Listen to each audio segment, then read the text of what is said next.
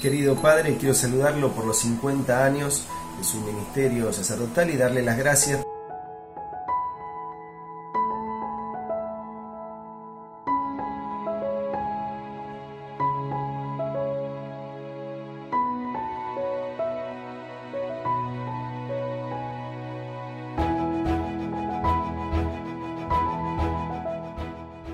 Y darle las gracias porque con su magisterio, con su palabra, con los signos que hace cotidianamente, nos da el marco para poder eh, construir un mundo mejor con las personas eh, que están más rotas, con los más pobres, eh, y pedirle que no se deje, que no afloje, que, que no se deje tentar por los que le ponen piedras en el camino, no conocen a los más pobres y nosotros necesitamos espacio para seguir trabajando.